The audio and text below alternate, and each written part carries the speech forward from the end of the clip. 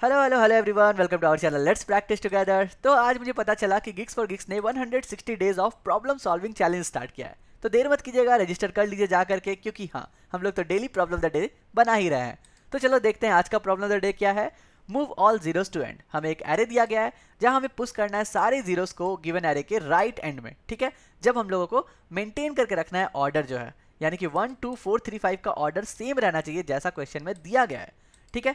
तो हम लोग क्या करेंगे? इसको बनाएँगे स्मार्ट वे में। क्योंकि हम लोग सी प्लस प्लस यूज़ करते हैं तो हमारे पास STL लाइब्रेरी है, जहाँ पर बहुत सारे ऐसे फ़ंक्शन है जो हमें नहीं पता। तो हम लोग क्या करेंगे? ऐसे बेसिक क्वेश्चन में उन सारे फ़ंक्शन को एक्सप्लोर करेंगे। पर हाँ एडवांस वे में जाने से पहले मैं एकदम बेसिक वे में बता देता हूँ।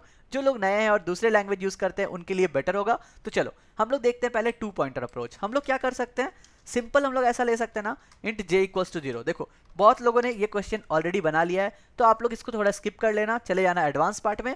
लेकिन जो बेसिक देखना चाहते हैं, उनके लिए मैं ये लिख रहा हूँ कोड क्यों, क्या कर रहा हूँ मैं? देखो, मैं सबसे पहले एक लूप चलाऊँगा आई एन तक ज़ीरो से एन जो हम लोगों को बेसिक ऑर्डर ऑफ़ एन में चलना है।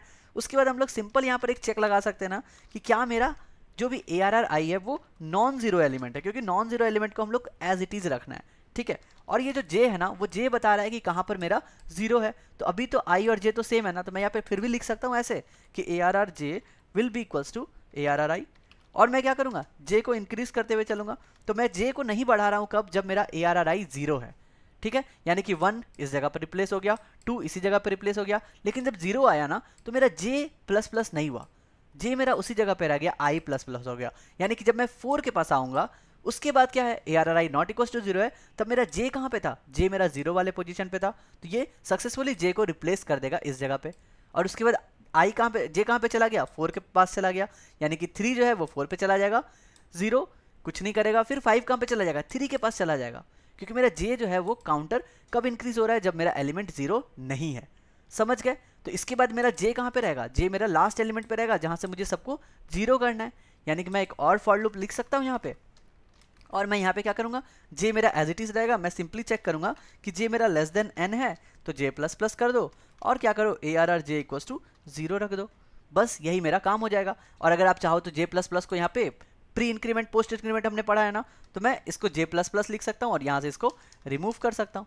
बस यही तो मेरा यहाँ पे कोड हो गया। अगर मैं कंपाइल रन करूँ तो ये भी आपको सक्सेसफुली आंसर दे देगा। तो ये था बेसिक अप्रोच जो आप लोगों ने किया होगा, बहुत सारे तरीके से, ठीक है? यहाँ पर एन नॉट डिफाइंड है तो हम लोग एन भी लिख देते हैं यहाँ पे। N will be nothing but A R R dot size ठीक है? यही तो मेरा एन है। तो मैं यहाँ पे कंपाइल रन करके दिखाता हूँ और हमें सक्सेसफुली मिल गया three five four zero zero तो ये था मेरा बेसिक अप्रोच लेकिन अगर आप इस वीडियो पे आए हो तो मेरा फ़र्ज़ है कि आपको कुछ नया सिखाना है। तो चलो, मैं इसको हटाता हूँ। मैं आपको बताता हूँ, एक लाइन में कोड हम लोग कैसे लिखेंगे। तो आज का जो फ़ंक्शन मैं लेकर के आया हूँ, उसे कहते हैं हम लोग स्टेबल पार्टीशन अब देखो स्टेबल पार्टीशन कितना बढ़िया फ़ंक्शन है और हम लोग इसको कितनी सारी जगह में अलग अलग तरीके से यूज़ कर सकते हैं। तो स्टेबल पार्टीशन क्या बोलता है ना?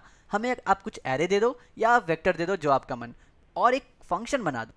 फ़ंक्शन में बोलो कि आपको किस एलिमेंट को पार्टीशन करना है, ठीक है? मतलब कंडीशन क्या होगा पार्टीशन का? और मैं आपको करके रुक दूँगा और मैं ऑर्डर बिल्कुल भी चेंज नहीं करूँगा। यानी कि ये तीन पैरामीटर लेगा कि आपको कहाँ से कहाँ तक पार्टिसिपेट करना है। तो मुझे तो यहाँ पे वेक्टर है ना तो मैं क्या करूँगा? एरे डॉट बिगिन से स्टार्ट करूँगा और एरे डॉट एंड तक जाऊँगा कि मुझे पूरे एरे को पार्टीशन करना है।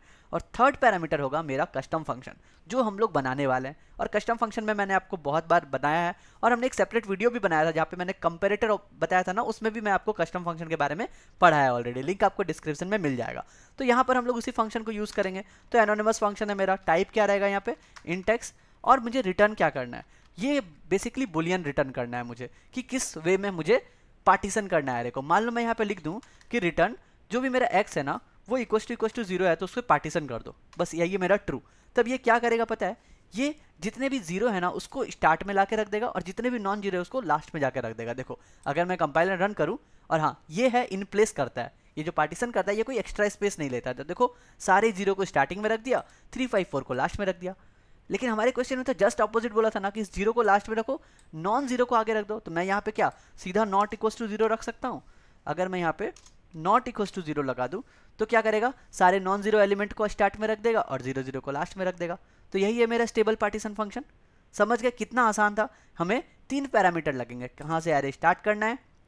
कहाँ पे एरे खत्म होगा? और मेरा थर्ड जो बुलियन रिटर्न करेगा फ़ंक्शन ठीक है? अब देखो, मान लो अगर आपको क्वेश्चन में आ गया कि आप इवन नंबर और ऑड नंबर को सेपरेट करो, आप क्यों नहीं इस फ़ंक्शन को यूज़ करोगे? आराम से करोगे. क्या लिखोगे यहाँ पे? कि मेरा एक्स जो है, अगर डिवाइड बाई टू होता है तो मैं डबल इक्वल टू लिख देता हूँ। तो ये क्या हो गया? इवन नंबर हो गया। चलो कंपाइल एंड रन तो मेरा ज़ीरो ज़ीरो फोर ये तीनों क्या हो गया? इवन नंबर हो गया। तो स्टार्ट कहाँ पे आ जाएगा? ज़ीरो ज़ीरो फोर और लास्ट में क्या चला गया? थ्री फाइव पार्टीशन हो गया ना। सिमिलरली अगर इवन को बोले, बाद में रखने के लिए ऑड को पहले तो मैं क्या कर दूँगा? यहाँ पे नॉट इक्वस टू ज़ीरो लगा दूँगा। लेकिन हाँ हमारे क्वेश्चन में भी क्या है? नॉट इक्वस टू ज़ीरो को पहले रखना है। तो चलो, इसको देखते हैं सबमिट करके कि हमारा काम होता है कि नहीं। एंड आई होप आपको समझ में आएगा कि आप यहाँ पे कितने तरह के फ़ंक्शन लिख सकते हो कंडीशन जिस तरह आपको क्वेश्चन में मांग रहा है पार्टीशन करने का। तो कभी भी अगर आपको क्वेश्चन मिल जाए, जहाँ पे पार्टीशन वर्ड मिल रहा है, जहाँ पे आपको एरे या वेक्टर के साथ कुछ पार्टीशन करना है, ठीक है?